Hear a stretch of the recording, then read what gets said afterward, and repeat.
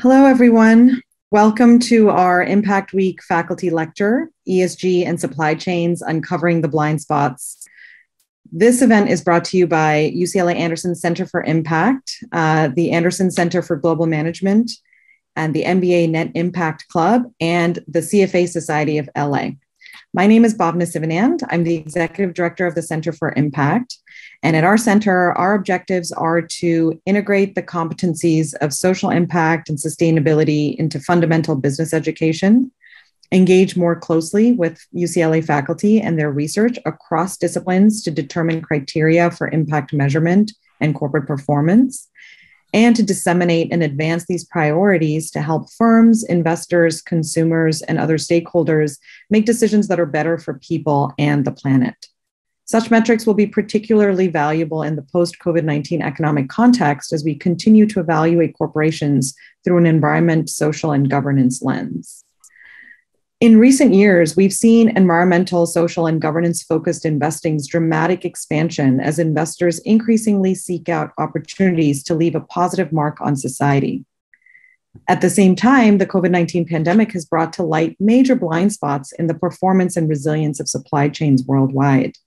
Through today's lecture, we'll explore the ongoing challenges in supply chain transparency while learning about cutting edge research on the impact of supply chains on ESG ratings. So, with that, I'd now like to introduce Professor Chris Tang, who is UCLA's distinguished professor, has an Edward W. Carter Chair in Business Administration, is a Senior Associate Dean of Global Initiatives, and also the Faculty Director for the Center for Global Management. A foremost scholar of global supply chain management, Chris Tang focuses his research on social innovation in developing countries, identifying how companies operate in the environment to do good while doing well at the same time. In his words, where corporate responsibility, social justice, and, and, and environmental stewardship can go hand in hand. Tang's interest in this field began in the private sector, where he worked for IBM to solve international production planning problems. Exposure to real life industry projects motivated his academic research, where he developed teaching cases on a variety of concerns, such as microfinancing for the poor, mobile platforms for developing economies, creating shared values and direct procurement of agricultural products, response management in disasters, and new business models in the age of the internet.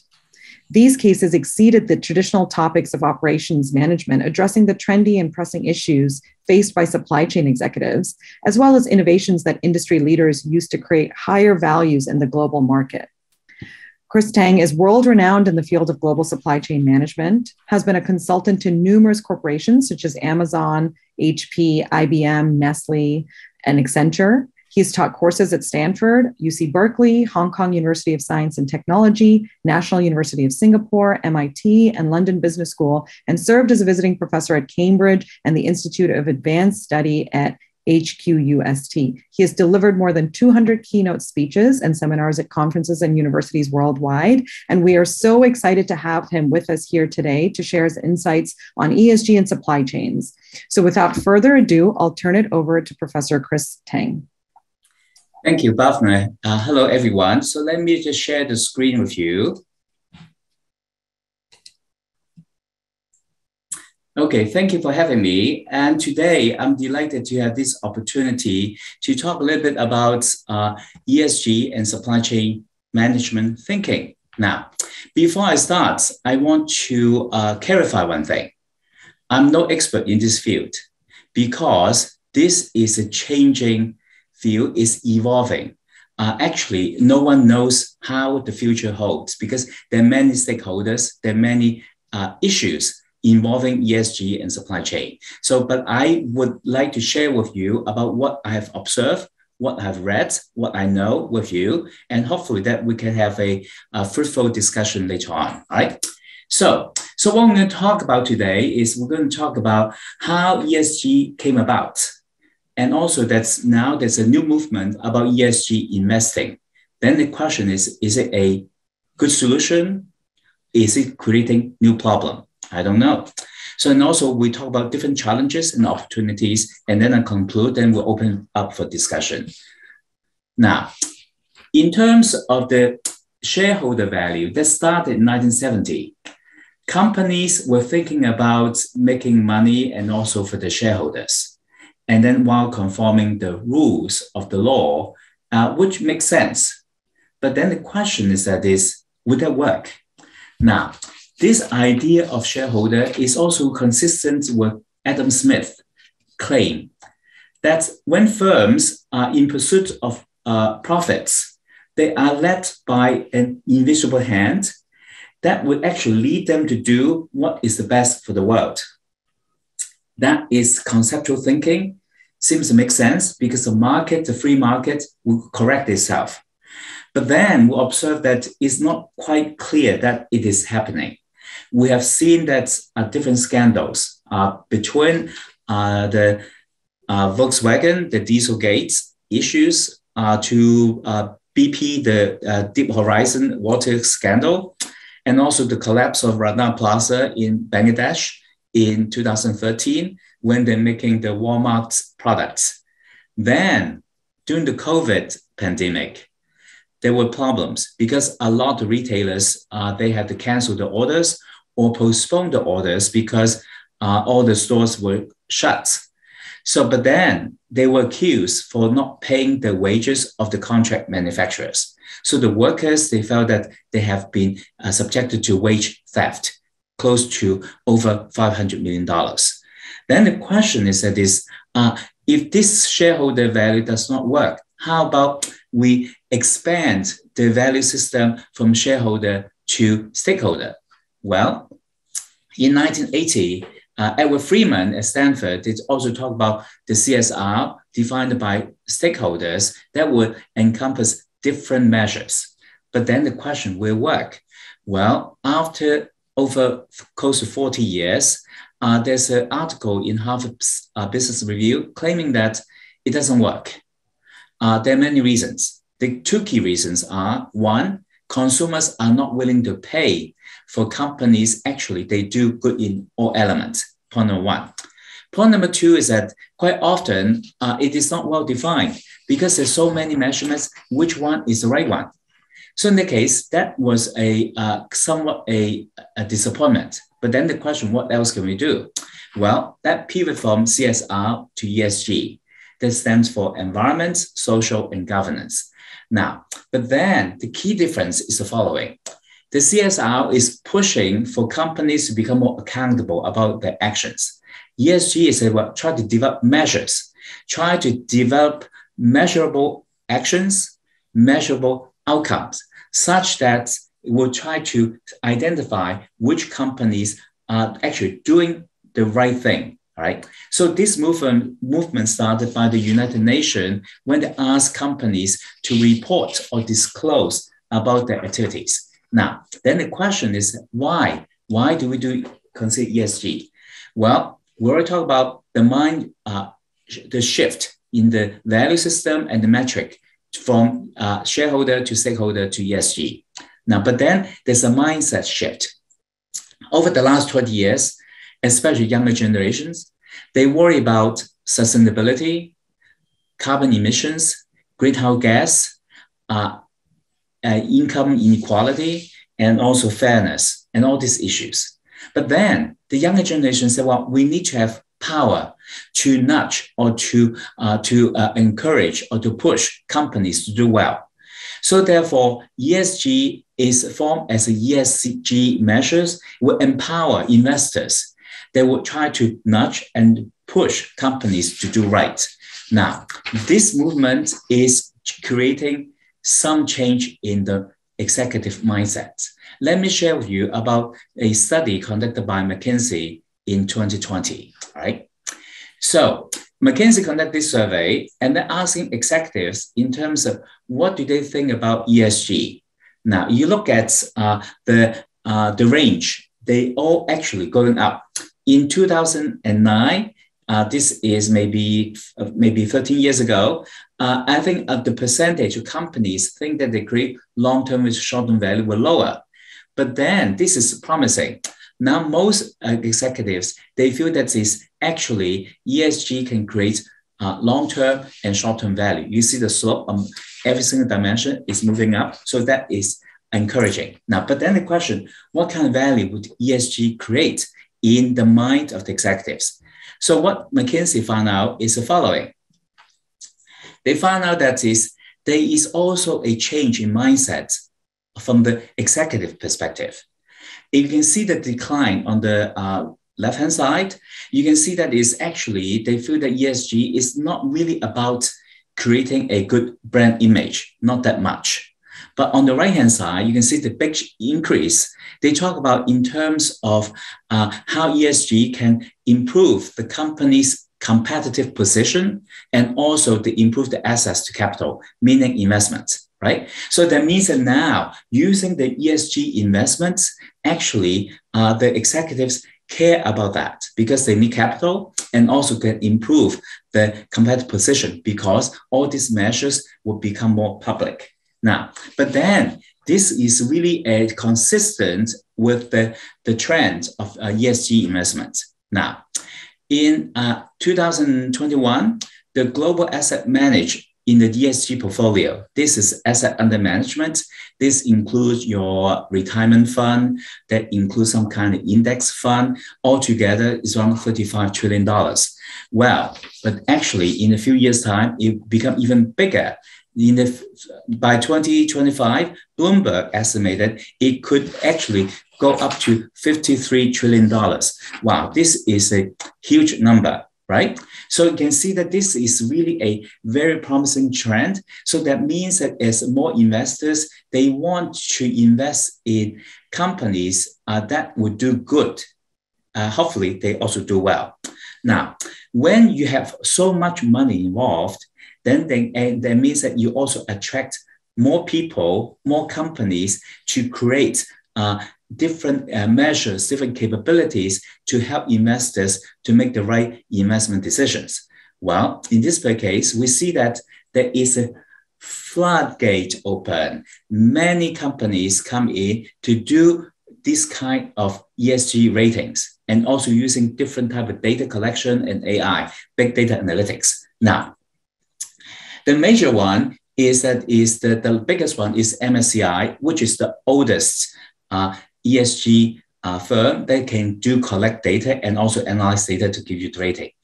The next one is uh, uh, Bloomberg, and then there's Sustainalytics, which is owned by uh, Morningstar. And then the next one is Refinitiv, which is owned by the London Stock Exchange. On the right-hand side, these are the companies, they do big data analytics and as well as other uh, companies, and then the, the, ratings. But then the question is that is, uh, when you have so many ratings, it become like the business school ratings. That could uh, be a bit overwhelming, right? Now, when you have so many ratings, then the question is that is, would they be uh, consistent? Well, there are some challenges.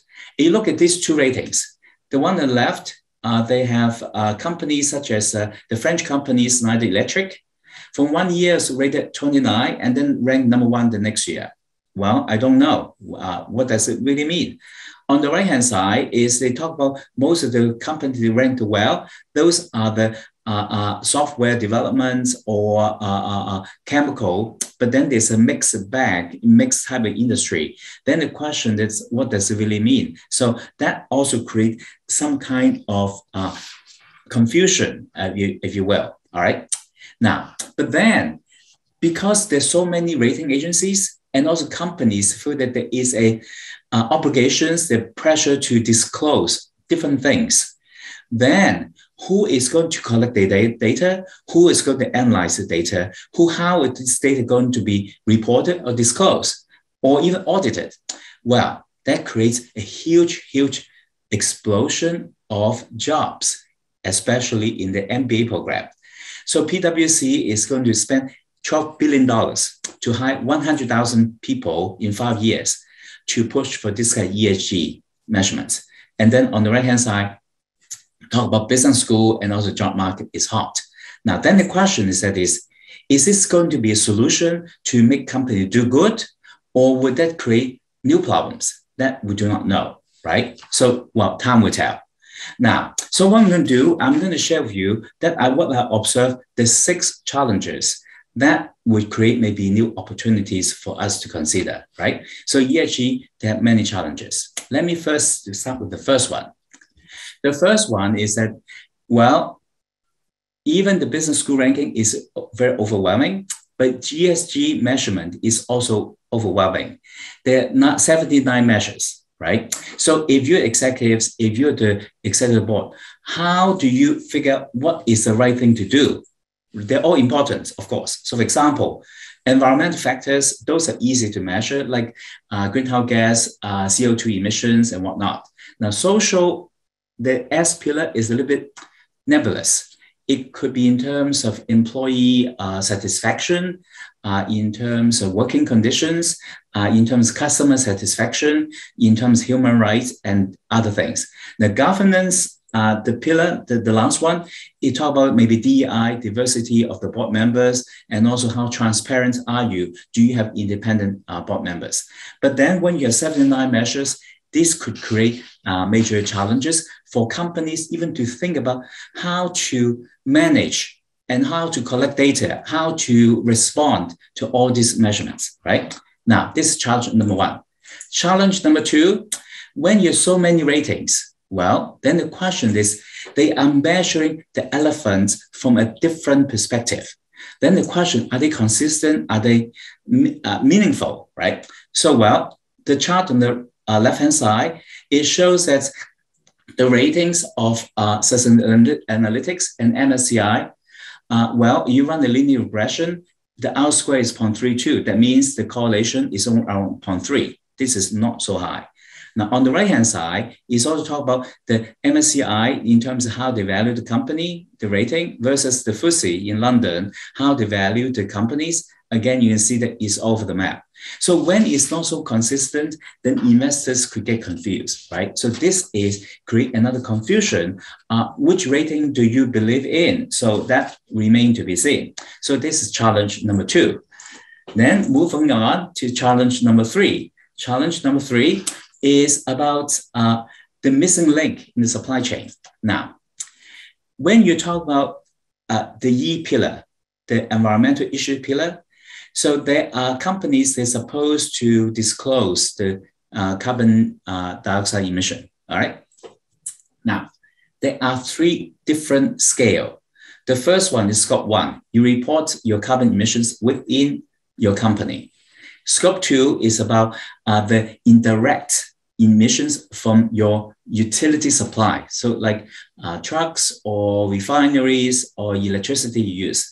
Scope three is that this, all the emissions is not captured in a company, but is also upstream from your supply chain or downstream from your supply chain. Now, then we discover that only 19% of the manufacturing companies disclose scope three emissions. Well, there are three scopes. They did not disclose those. Is it a big deal or not? Well, as it turns out, most of the carbon emissions, they are generated from scope three. As in particular, for US firms, when they outsource so much, so in that case, actually within the four walls, the emission is not that high. So in that case, is part of greenwashing. All right, so that remains to be uh, is a discussion uh, we can have, right? So most of the time, the biggest uh, culprits is not reported, then the case, what does the measure mean, right? What does this measurement mean, right? So let me use one example to illustrate my point, all right? Let's take uh, the case of Amazon. Amazon is the most favorite holding by many, many ESG funds, including Vanguard, including others. Then Refinitiv, as mentioned, is a rating agencies that is a subsidiary of the London Stock Exchange.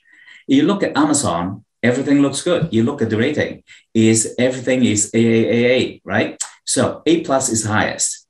Now, so if you look at this rating, uh, for uh, Refinitiv, they, uh, they actually, they weight uh, uh, environmental issues around 30%, as you see.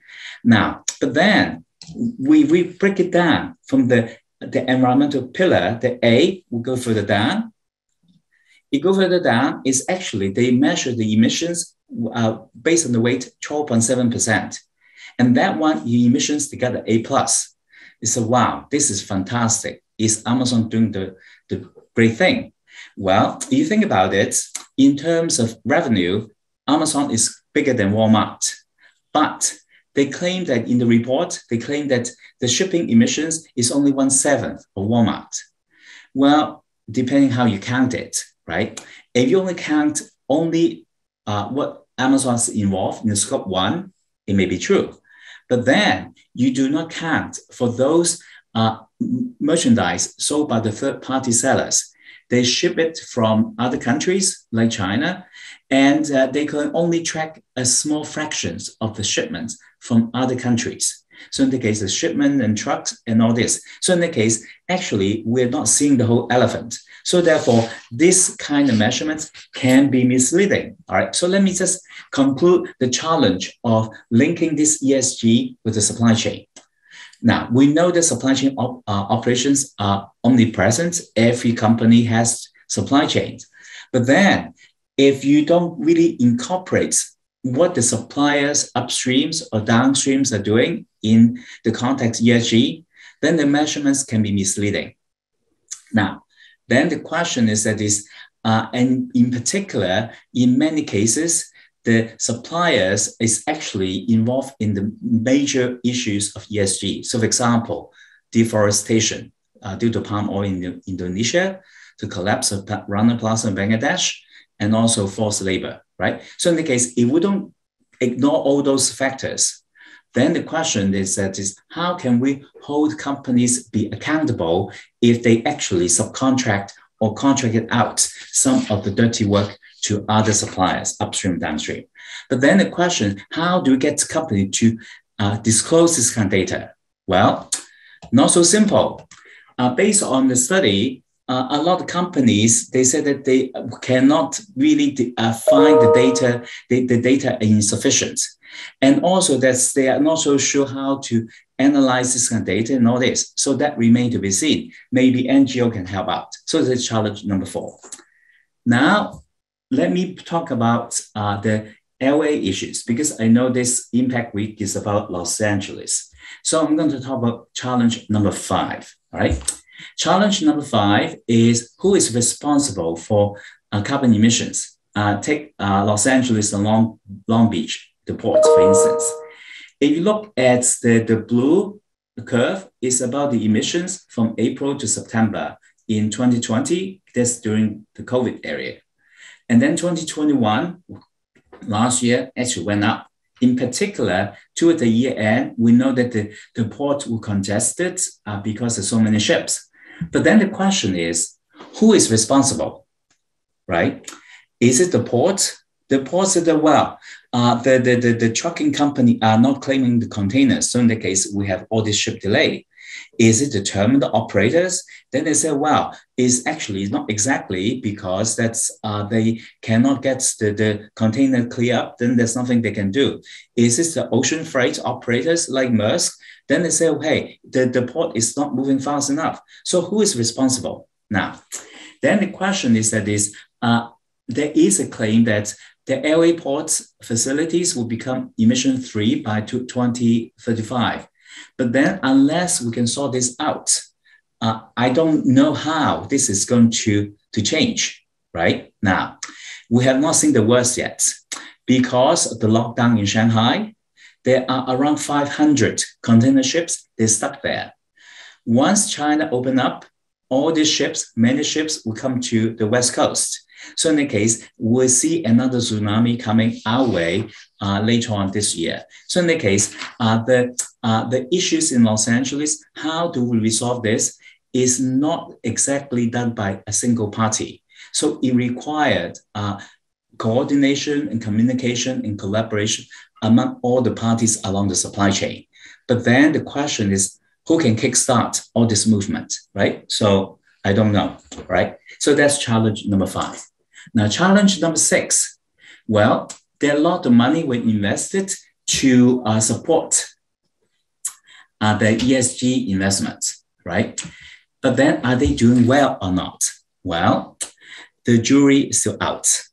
Uh, this is a study uh, as uh, actually also happened in the MIT study uh, this year in 2022. They found exactly the same finding.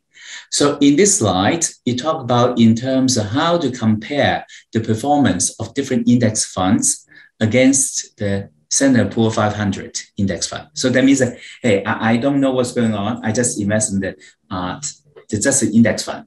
this S&P 500 index. So the benchmark is horizontal line, the zero, right? So that means I just do that. Versus the other ESG index fund, by and large, sometimes it's better, sometimes lower, but then you account for the superior performance of the S&P 500 last year, ESG is not performing well at all. So there is a Barron's article talk about these issues. Now, then the question is why? Well, there are many reasons. So researchers, finance professors, and accounting professors are investigating that. Uh, first of all, uh, one claim that is well because that uh, these uh, companies they are doing well. If they're doing well, then, the, the, the, the market price, the stock price is already high because everyone is already investing in it. So therefore, the potential to move up even higher is less. So therefore, they cannot beat the S&P 500 because it's or the stock price already factored in into the original stock price. So therefore, uh, is an, not not reasonable for, for you to expect to perform better. Right? That's number one. Point number two is that there is also uh, Barron's, they have uh, researchers, they discover that it may be the case that uh, uh, when the index funds focus on all these ESG focused companies, then the portfolio is much more limited. So for example, uh, maybe for oil and gas companies, they already excluded it, right? So therefore, right now, the oil and gas companies doing very well because of the war in Ukraine. Also, uh, they may also exclude uh, companies that make weapons, like the defense company, like uh, Northrop Grumman or uh, some other uh, defense companies. But and yet now the stock price went up to the roof because uh, of the war in Ukraine. And also some of the mining companies, they do extracts, minerals or, or metals but then uh, this is considered dirty uh, uh, companies. It's also excluded by the ESG index fund. And yet right now, because that uh, we need more electric vehicles, we want more lithium, we need uh, more materials to make the, the semiconductors. So those stock prices also going up as well. So relatively speaking, if you excluded all those companies in your ESG index, you may end up with uh, uh, maybe the performance, the stock performance may not be as good. But then let's also come back to the original questions. Why do uh, investors invest in ESG index fund? You want the company to do good, or you want to, the company to do well, or you want to do both, right? So in that case, the question is that are we asking the right questions? Are we expecting all these index fund to beat all the marketplace? Right? So what is intention? So I, I, don't, I don't know. So I think that is something we need to sort this out, but time will tell. Then the next one is that is there are opportunities to rethink uh, all these challenges, given those challenge, uh, six challenges. First of all, right now, uh, in terms of supply chain visibility, transparencies are low Many companies do not really know the identity of their suppliers beyond tier one. Of course, they know tier one because they need to issue the check to pay for the uh, for the invoice for ordering things. But beyond that is they either they don't know or they don't care, right?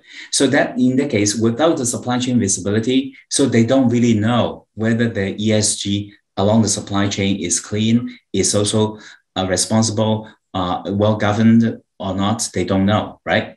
Then, but I think that maybe we can learn from the fashion industry. Fashion industry has been accused of being dirty. So in that case, right now, uh, the fashion industry, they do have a fashion transparency index. So in that case, how uh, transparent are, are you in terms of where you source the materials, uh, the percentage of female workforce in the factories, and the pay scale and whatnot, right? So in that case, that may help in terms of getting the visibility at first. Because without the visibility and transparency, you cannot measure in terms of what the suppliers are doing upstream or downstream. So point number one. Point number two is that is right now, I think that the ESG measures are, are, are too overwhelming.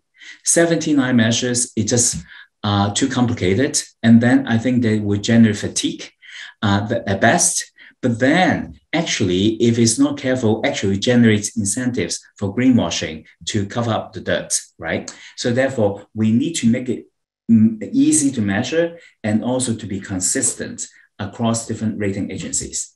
Right now, different rating agencies, they have their own secret formula, the secret sauce, because the algorithm is not disclosed. So in that case, you don't know how they use those uh, data to come up with the rating. Now, then the third one is uh, we also need to make sure that the data they submitted by the company or uh, they acquire from external sources can be verifiable. Right now, uh, the SEC uh, in the US uh, actually uh, does not really have a easy mechanism to do that. Right now, the data is actually is self-reporting and also self-certified. The company certify themselves. Then in the case uh, without uh, uh, audits, uh, that could be a complicated uh, matter. So in that case, I think that's in the future. I think that there should be some kind of external audits would be necessary. So therefore, that may create so many jobs for PwC for, to do that. And then the last one is that is we also need to understand about uh, the investors' uh, original intentions. As I mentioned before, you want them to do good or do well, or what is exactly intentions? Because you want to support company to do good, but then maybe you sacrifice a little bit of uh, uh, your investment return. Is it okay or not? I don't know, right? So I think that is something we need to understand as well. All right. So let me conclude, then we can open up for uh, further discussions. All right. So what we find is that is uh, ESG is the talk of the town uh, because I've, uh, given uh, a few talks uh, in different places, and also there are many articles in the newspaper, in the press, and the finance, accounting, they're really studying this very frequently. And also that's right now because of ESG investing, and also that's create uh, opportunities for companies to re-examine the way they manage the ESG activities, right? That will also create uh, consulting opportunities for firms to help firms how to navigate through this uh, new new era in terms of how should they actually uh, do good and do well. And also that we also discuss uh, the issue of missing link because they only most of the firms only disclose scope one emissions, but then scope three is missing. But and yet we know that most of the dirty activities, they happen further upstream in the mining uh, area, maybe conflict minerals, maybe uh, not an ethical practice that we do not know. Then the question is, how can we eliminate this kind of greenwashing activities? Then the last but not least, then the question, there's a big debate. Should there be a uh, regulatory body to make sure that companies they do uh, the disclosure, uh, the reporting, and the data integrity in a consistent manner. Right. So I think right now SEC is coming up with some measures uh, by the, the, end of this year. So I, I do not know all the details yet. Right. So this is uh, what I have. And then uh, I guess I want to thank you for your time. And then we're going to open for discussions. Thank you. Thank you. Thank you, Chris. Thank you, Professor Tang, for your insightful presentation. Um, I think it's it's a fascinating topic, and I think you know there's. Uh, thank you for kind of presenting it in a way that levels the playing field a little bit because I think people's level of knowledge on this is is varied. Um, there, I wanted to start off with a couple questions, and then I'll take a look at um, the audience Q and A. Um, one question was do you have any thoughts on how companies can create um, visibility for their investors into some of the social and environmental factors associated with their supply chains? Are there um, are there ways you know that that are more creative than sort of through the traditional metrics right now that companies can kind of open up the books on their supply chains to investors? Well, uh, thank you. Uh, first of all, right now, there are a lot of uh, uh, rating agencies. They can report these kind of measures. Then, for example, you go to all these rating agencies, you can search for different firms about the ratings. Also, even Yahoo Finance, if you go to Yahoo Finance webpage, you click on the firm, they also report the MSCI index. You click it, you can actually track it down. So that's one. Secondly, I think that right now, I think that in maybe I can talk about the, the, uh, the pillar of the G, the governance about in terms of diversity, inclusion, uh, and equity. Uh, so now many firms, uh, more progressive firms, uh, they do report this kind of measurements in terms of uh, career uh, advancements for the different minority groups, female, and also in terms of percentage of minorities and female on the board. So they do have that kind of measurements as well. So, but then the question is that is by the companies themselves are not sure by doing all this, does it really help? That remain to be seen. Then it's okay. You want me to do good? I'm doing doing good, but are the investors, are the consumers going to reward me? Because if we do not reward the company, truly pull out our wallets, open our wallet to support these companies, they cannot survive. So I think now it's become a chicken egg problem, right? So we don't trust the companies, and the companies actually do not trust us right? So I think it's a chicken egg problem. But then the question, how can we break the cycle such that we truly can uh, uh, truly believe what we actually do to reward companies, and the companies truly believe that if they do good, they will be rewarded. So I think that is a chicken egg problem. So I think that is something uh, we have not solved yet. Right. And in terms of your your comment, you know, kind of bringing us to the the Rana Plaza collapse factory factory collapse, um, have there been any changes in sort of um, end of the, the the supply chain metrics that are connecting back to the S and the G for ESG um, in terms of how companies are evaluated on their supply chains on the social metrics of factories? Yes, thank you. This is a great question. Uh, I have uh, written articles on that uh, because I do this kind of social innovations. So after the Rana Plaza collapse, collapse in 2013, uh, over a thousand workers uh, were killed because the uh, the factories, the building was not safe, and even before the fire, fire hazards, has killed a lot of factory workers because the factory owners locked the gates to make sure that the, the workers, they work so many hours. Now, since the collapse, uh, a lot of uh, international brands, they had to make a conscious decisions.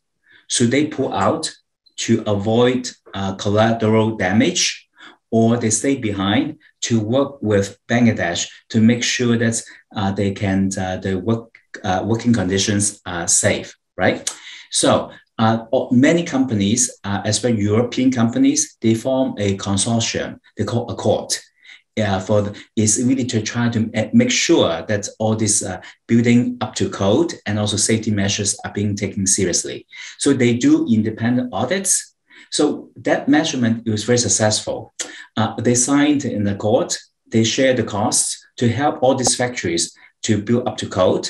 Then they said that we invest money, but then we will do the audit. Now, if they find that the audits is not uh, that uh, the factory did not comply with the international standards, all members will pull out. So that means that this factory will go bankrupt. They use this kind of harsh penalty. So in that case, to enforce that. Since 2013, we've seen a lot of progress. So that's why that recently you have not seen too many disasters happening in Bangladesh. So that is a good thing. But then the question is that is it sustainable? Because it costs money. So last year, some members they have uh, little second thoughts. Then they said, well, we invested so much money for close to 10 years. Uh, yes, maybe they save it now, but the cost going up. But then the question is, is it really a good investment or not? Right? So therefore, if the public knows more about this and more also more willing to support this and willing to pay a bit more, just like the CSR I mentioned earlier on, hey, you want people to do good, but you don't want to, to reward them, then how can they survive? Because the costs go more, just like the, the, the fair price uh, when you drink uh, uh, Starbucks coffee It's more expensive because they do pay the farmers a fair price, right? So I think that is really something uh, the, the, the, the brand and the consumers need to have a agreement that is uh, mutually agreeable, this is the right thing to do. In that case, both sides will not break the, the commitment. That will help. But I think that Bangladesh, we have seen a lot of progress. Thank you. And that actually brings me to one more question I have before I look at um, the audience question. And it's um, so you bring up a point about the difference in standards, um, you know, uh, in developed countries versus emerging economies. So, how should investors think about supply chain standards in developed versus emerging economies, and how does that link back to ESG measures? Uh, that's very good questions. Uh, I think that in the, I think that different countries they now doing different measures. So right now, I think that in the developed economies, uh, such as US, Europe, and they have each country they have their own measurements. Uh, now, but I think in Asia, in particular in China or Korea, now they develop their own as well. So I think that that's where we need to come up with the international body to make sure that this the standards is established in uh, in developing countries is uh, in cons- either consistent or congruent with the US or European measures. So this would be like our uh, electric uh, appliances. Uh, when you have the UL uh, underwriters uh, certified uh, products, that means even though the products made in Asia, but it comply with the US standard. In Europe, it's CE, right? So I think that this is under discussion right now. So now there is a, a body, it's called ISSB, International Sustainability Standard Board. It's trying to see is any way to develop a international standard such that you do not need to uh, really get certification in different countries, right? So hopefully uh, in the future, we can actually come up with some form of standards like the financial reporting standards, such that would be ESG would be more uh, uh consistent uh, around the world. We are not there yet. Mm-hmm.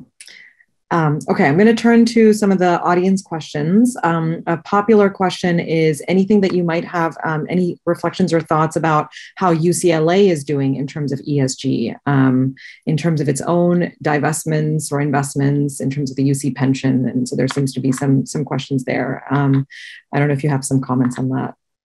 Okay, uh, I do not know the details, but I do know that there is uh, being discussed in terms how ESG should actually invest in all these funds. Uh, but then in terms of schools, now uh, the Anderson School, now we have at least two courses focusing on ESG. So I think if the student are interested in that, one of them is co-taught with uh, Henry Friedman uh, from, uh, from the accounting uh, department. So I think that this is a really hot topic uh, not just companies, even UC they do discuss it, but I'm not on the board of the uh, investment of the uh, pension funds. So that is above my pay scale, but that is uh, somewhere the UC office uh, would look into it. But I think that I can assure you that they do consider that. Right. Um, and then you had talked about sort of the, the, the the movement from CSR to ESG is one about moving from accountability to measurement. And the question here is, um, but doesn't one need to measure to be accountable? So they seem to be related, accountability and measurement. Um, and so if you have any more thoughts on that. Well, uh, yes. Uh, before is more philosophical. The CSR.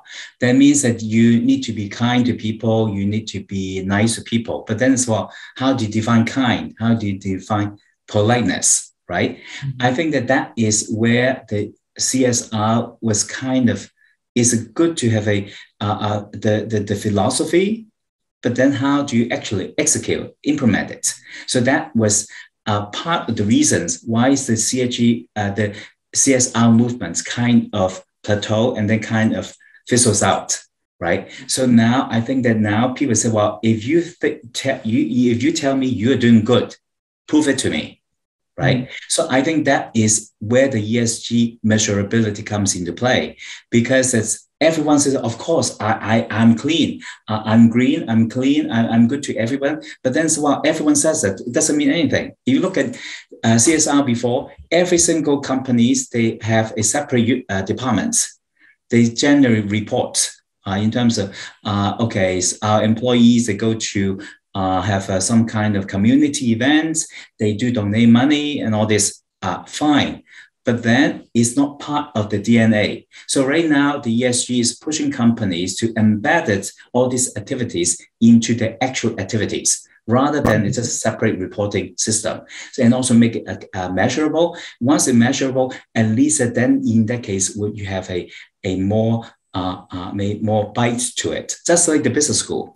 Before we did not have the business school ranking, then everyone's, of course, they declared it the best, right? So right now, you can argue what is a good measure, what is the right measure, or not, but at least the information is there. Mm-hmm. That whole adage of you can't change what you can't measure, or you can't improve upon what you don't measure. Exactly. Exactly. Uh, and then um, the final question is Do you see more benefits being given by the SEC for using verified data versus CSR alone? Okay. Uh, in terms of SEC, right now, they have not really come down with a definitive uh, uh, uh requirements. As of now, the data is self-disclosed, self-reporting, and self-certified. And we know that that is really questionable, right? That's the whole point. We want measurable outcomes, measurable actions. So therefore, I think SEC is moving towards in some form of uh, uh, in terms of uh, mandatory disclosure. Uh, it's not come down yet.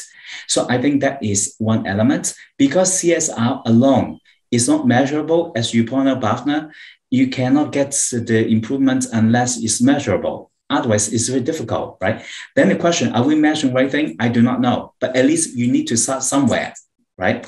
So uh, uh, we need to start from somewhere. So hopefully this movement will get there eventually. We're not there yet. That's why it's so exciting. Yep. Well, um, thank you so much, Professor Professor Tang. I um, I want on behalf of the the whole school and the Center for Impact, and I actually am just planning on bringing um, Maggie as well um, to, to thank you. But I just want to, in, in, closing remarks, I just want to say um, this presentation is great, and it's you know more discussions about ESG and and what that means from a business school perspective and how business students can get involved in that is is warranted. So uh, us at the Center for Impact, we're definitely working towards supporting more content and curriculum on that. I wanted to thank the Center for Global Management for being such a great partner with us to shape multiple conversations about corporate sustainability and impact across the world. I also want to thank the CFA Society of LA for being a thought and promotional partner with us on this event. And for those of you that want to learn more about this topic, the CFA Society of LA offers a certificate in ESG investing that I encourage you to explore. Um, and please check out the rest of the events this week for Impact Week happening in person. And Professor Delmas, do you have uh, any final thoughts or questions?